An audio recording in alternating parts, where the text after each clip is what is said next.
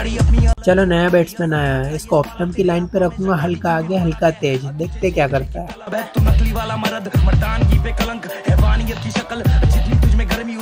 ये तो आते ही ड्राइव मारने की कोशिश कर रहा है। और बेड और पैड में बहुत बड़ा गैप है। इसको गुगली डालूँगा तो इसके मिस करने के चांसेस बहुत ज़्यादा है। भाई की हुकूमत सच्चाई की ये सूरत।